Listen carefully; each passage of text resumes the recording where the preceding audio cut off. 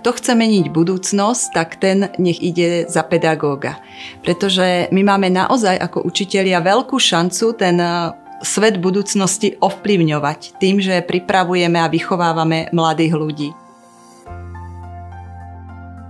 Spojená škola Puchov sa skladá z dvoch organizačných zložiek, a to Stredná odborná škola a Stredná odborná škola Sklárska. Ešte donedávna možno prichádzali študenti do škôl, do odborných škôl, predovšetkým pre získavanie tých odborných zručností, teda aby sa naučili čo najlepšie odbor. Z dôvodu, že doba sa veľmi mení a je to až citeľné, tak to vzdelávanie je teraz trošičku postavené inak a myslím, že to aj žiaci tak vnímajú. Na jednej stránke chcú byť dobrí odborníci, čo musia aj byť,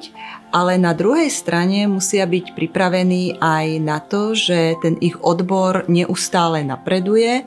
neustále sa vyvíja. Myslím, že študenti ku nám dnes prichádzajú nielen na získanie odbornosti, ale aj kvôli tomu, aby získali aj nejaký taký osobnostný rast, aby vedeli, že sa budú celý život vzdelávať a že sú tí správni ľudia na správnom mieste.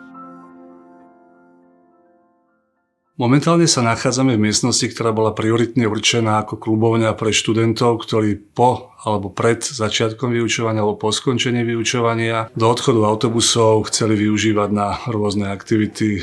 na vyplnenie času, či už je to stolový futbal, či už je to zahranie nejakého PlayStationu, či už je to rozoberanie školských záležitostí, taký pelmel všetkého. S pani rediteľkou sme sa teda rozhodli, že by sme chceli spraviť niečo na štýl nejakého štúdia, v súčasnej dobe ho teda zariadujeme ako nahrávacie štúdium, eh,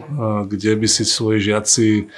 prezentovali svoje nápady, svoje myšlienky a posúvali ich smerom ďalej. A chceme aj týmto smerom vlastne aj tým našim žiakom ukázať, že nie je všetko len o tom, že musí ísť priamo do výrobného procesu niekde, ale že dá sa posunúť, pokiaľ záujem má aj nejakým iným smerom. A to si myslím, že cez toto štúdium sa dá krásne robiť e, a krásne tento priestor využívať. Razíme aj tú takú tendenciu, že stiahovať týchto našich bývalých absolventov, ktorí študujú na vysokých školách, aby svoje vedomosti odprezentovali aj tým našim žiakom, ktorí momentálne študujú na strednej škole, že aj toto je jedna z ciest, kedy sa môžu vlastne vypracovať vyprofilovať a ukázať, že čo v nich vlastne, vlastne je.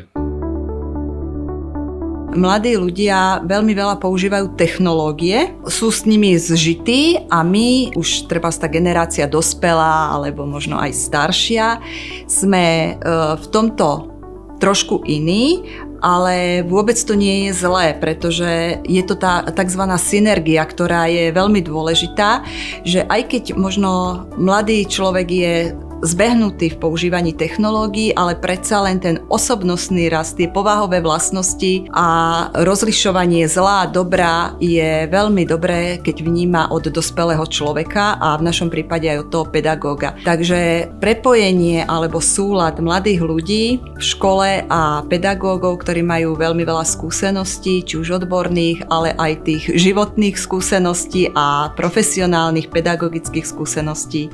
je myslím, že tá najlepšia cesta, ako